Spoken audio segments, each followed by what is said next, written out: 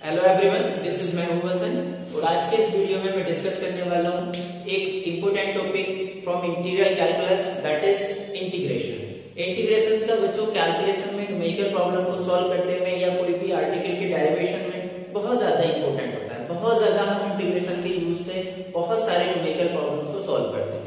Total mathematical part बच्चों, इस पे बेस जो है आपने अभी तक इसको स्टडी नहीं किया होगा, जो मैथमेटिकल स्टूडेंट हैं, वो इलेवेंथ और ट्वेल्थ में इसको डिस्कस करेंगे। बट फिजिक्स में इसका चैप्टर थ्री से यूज़ होने स्टार्ट हो जाता है। इसलिए हम बेसिक आइडिया या कहूँ जो फिजिक्स में जितना इंटीग्रेशन यूज़ होता है, उसको हम इस वीडियो में डिस्कस करने वाले हैं। तो सबसे पहले इस वीडियो में हम डिस्कस करेंगे कि इंटीग्रेशन हम करते क्यों ओके तो सपोज़ कर लेते हैं, हमारे पास कोई फ़ंक्शन है। कोई फ़ंक्शन है और उसकी जो शक्ल है लाइक दिस इस तरीके का हमारे पास कोई फ़ंक्शन है अब मुझे क्या करना है? ये बाई हो गया बाई कोऑर्डिनेट और इसको मैं सपोज़ कर लेता हूँ एक्स कोऑर्डिनेट ठीक है? सो इस जो कर्व मैंने ड्रॉ किया है, इस कर्व के अंडर जो एरिया आ रहा है, उसको अगर मैं कैलकुलेट करूँ बच्चों तो कैसे कैलकुलेट करेंगे इसीलिए को? ना तो ये रेक्टेंगल है, ना स्क्वायर है, या मैं कहूँ कोई भी रेगुलर शेप नहीं है, ठीक है? तो अगर इस तरीके की कहीं पर शेप आती है तो उसका इंटीग्रेशन उसका जब आपको एरिया कैलकुलेट करना होता है तो इंटीग्रेशन की हेल्प से इस टाइप के फ़ंक्शंस का हम एरिया फाइंड आउट ठीक है? और भी इसके अलावा बहुत सारे फ़ंक्शंस होते हैं और भी बहुत सारे एप्लीकेशन है। सिर्फ़ एरिया फाइंड आउट करने के लिए नहीं हम इसको यूज़ करते हैं, और भी इसके बहुत सारे एप्लीकेशन ठीक है? तो इसमें हम करते कैसे हैं? ये रेगुलर शेप है तो हम सपोज़ कर लेते हैं कि मेरे पास कोई, मैं इसके जो एरिया मुझे टोटल एरिया फाइंड आउट करना है, कहाँ से कहाँ तक? मैं सपोज़ कर लेता हूँ x इक्वल टू a से, और x इक्वल टू b तक। ये इसकी बाउंड्री है। यहाँ से यहाँ तक का मुझे एरिया कैलकुलेट करना है। ओके तो मैं इसको एरिया कैलकुलेट करने के लिए मैं क्या कर लेता हूँ? इसके स्मॉल स्मॉल पार्ट में डिवाइड कर लेता हूँ।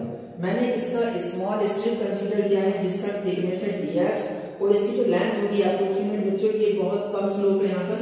तो ये लेंथ अप्रोक्सीमेट बाई के इक्वल में इस स्ट्रिप के लिए कंसीडर कर सकता हूँ। ओके तो ये लेंथ होगी मेरी बाई होगी हो गया dx तो इसका एरिया क्या हो जाएगा? स्मॉल एरिया dA dA का जो वैल्यू होगा वो क्या होगा? y into dx अगर मैं टोटल एरिया की बात करूँ तो इस सारे एरिया को मैंने स्मॉल स्मॉल पार्ट में डिवाइड किया था, सारे स्मॉल स्मॉल पार्ट में इसको एक ऐसी स्ट्रिप यहाँ कंसीडर कर लूँगा, एक स्ट्रिप आगे कंसीडर कर लूँगा, सारे एरिया को स्मॉल स्मॉल स्ट्रिप स्ट्रिप में मैं क्या कर लेता हूँ डिवाइड करके उसको क्या करता हूँ, सारे एरिया को ऐड कर लूँगा। तो इन सारे एरिया को स्मॉल स्मॉल जो एरिया मैंने डिवाइड किया है, उनको ऐड करने के लिए जो हम यूज़ करते हैं दैट इज़ इंटीग्रेशन क्या यूज़ करेंगे? इंटीग्रेशन और इंटीग्रेशन का सिंबल क्या होता है? इसको इस सिंबल से हम रिप्रेजेंट करते हैं, ठीक है? सो टोटल एरिया क्या हो जाएगा? अगर मैं बात करूँ टोटल एरिया का सो टोटल एरिया हो जाएगा integration of d a mean सारे जो स्मॉल स्मॉल पार्ट में डिवाइड किया था, हमने तो टोटल कैलकुलेट करना है तो हम सारे स्मॉल स्मॉल पार्ट को हम ऐड कर देंगे ओके डीए का वैल्यू पुट कर देते हैं सो इंटीग्रेशन हो जाएगा बाय इनटू डीएक्स ओके यही क्या है हमारा? इंटीग्रेशन होता है। आप इस तरीके इसको हम सॉल्व कर लेंगे। कैसे सॉल्व करेंगे, उसके लिए हम कुछ फॉर्मूले डिस्कस करेंगे। इसकी लिमिट कहाँ तक है? तो x की लिमिट a टू b हमने इंटीग्रेट करना है तो लिमिट भी यूज़ कर लेते हैं। सारे क्वेश्चंस में लिमिट नहीं गिवन होती है, कुछ क्वेश्चंस में लिमिट गिवन होती है ओके अब अगर हम बात करें, इसका ये तो फ़िज़िकल मीनिंग हो गया कि हम इस ऐसी जगहों पर इसको यूज़ करते हैं। बात कर लेते हैं करते कैसे इंटीग्रेशन तो इंटीग्रेशन के कुछ फॉर्मूले हैं, मैं उनको यहाँ पर लिख देता हूँ, ठीक है? इंटीग्रेशन के कुछ फॉर्मूले हैं, मैं उनको यहाँ पर लिख देता हूँ, और उनको क्या है कि हम कैसे यूज़ करेंगे, वो मैं आपको सबसे पहला फॉर्मूला है जो इसमें सबसे ज़्यादा यूज़ होता है that is integration of x की पावर n इनटू dx. माने कोई फ़ंक्शन है और वो क्या है x की पावर n है इनटू dx. ये x की पावर n है इसका आपको इंटीग्रेशन करना है विद रेस्पेक्ट टू x तो इसका इंटीग्रेशन कर देते हैं इंटीग्रेशन ऑफ़ x की power n with respect to dx. इसका जो फॉर्मूला होता है, वो क्या हो जाएगा? x की power n plus one over n plus one ध्यान से देखेंगे यहाँ पावर कितना है? N है तो x की पावर एक पावर एक रेज हो गया है इंक्रीज हो गया है, और डिनोमिनेटर में इसके क्या गया है? N प्लस वन प्लस एक और कांस्टेंट ऑफ़ इंटीग्रेशन इसके साथ आता है। ये जो कांस्टेंट ऑफ़ इंटीग्रेशन है, जब हम न्यूमेरिकल प्रॉब्लम सॉल्व करेंगे, तब आपको पता चलेगा कि इसका वैल्यू कैसे फाइंड आउट करते हैं। कांस्टेंट ऑफ़ इंटीग्रेशन यहाँ पर जो आता है, c, इसकी जो वैल्यू फाइंड आउट करने के लिए हमारे क्वेश्चंस में वो कोई ना कोई कंडीशन देगा। उस कंडीशन को अप्लाई करके हम कांस्टेंट ऑफ़ इंटीग्रेशन का वैल्यू फाइंड आउट करेंगे।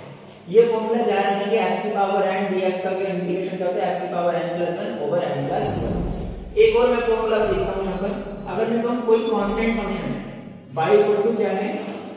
कोई कांस्टेंट है, मैंने सपोज़ कर दिया के कांस्टेंट अब इसका इंटीग्रेशन करना है। मीन इंटीग्रेशन करने आपको के का विद रेस्पेक्ट टू एक्स तो कांस्टेंट को आप इंटीग्रेशन से बाहर निकाल लेते हैं। अब यहाँ पे क्या हो जाता है? One into d x one को बच्चों हम ले सकते हैं। Integration x raise to the power zero into d x अब सिंपल फिर से इसी फॉर्मूले को अप्लाई करेंगे।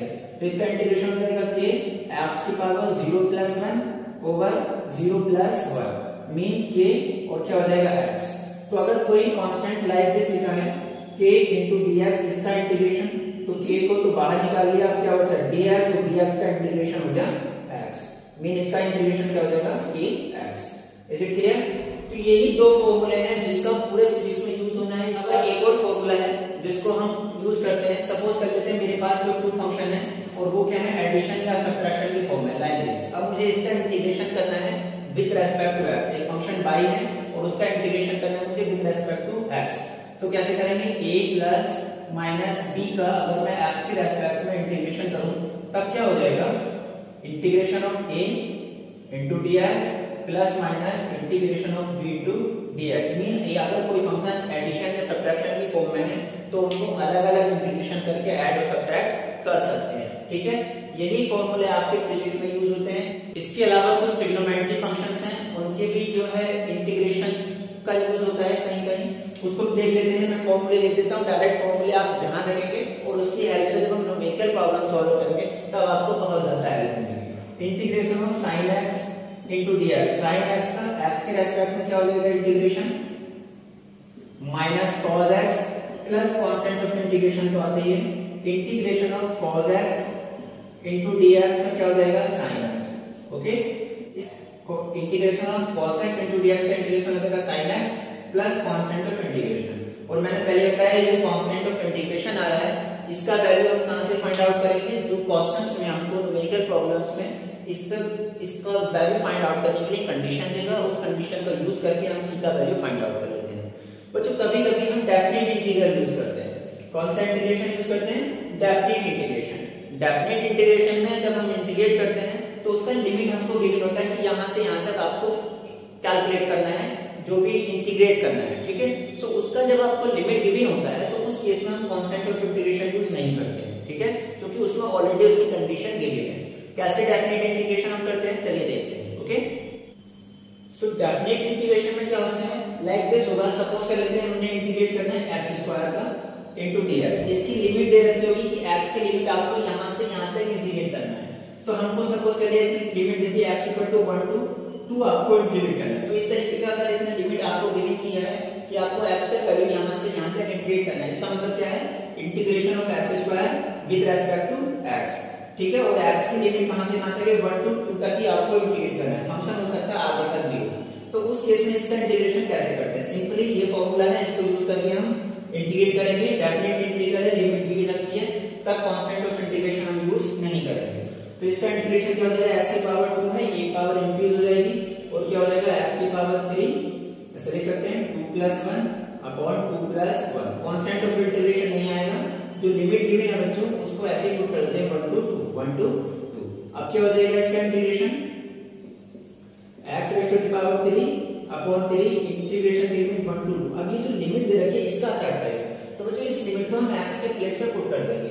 ये जो लिमिट होती है इसको बोलते हैं अपर लिमिट और ये है लोअर लिमिट ठीक है? तो पहले अपर लिमिट को पुट करेंगे फिर माइनस साइन के साथ लोअर लिमिट को पुट करते हैं। देखिए कैसे करते हैं। सो so, x के प्लेस पर मैं क्या पुट कर देता हूँ? 2 2 का क्यूब अपॉन 3 फिर माइनस साइन आएगा। फॉर्मूले का और लोअर लिमिट पुट करेंगे 1 का क्यूब अपॉन 3 आगे सोल्व कर लेते हैं तो ये कितना हो जाएगा? 2 या eight upon three minus one upon three और इसका वैल्यू हो जाएगा seven upon three so definite integration को हम कैसे सॉल्व करते हैं? ये आपको क्लियर हो गया होगा ओके लिमिट को कैसे पुट करते हैं, ये भी आपको क्लियर हो गया होगा।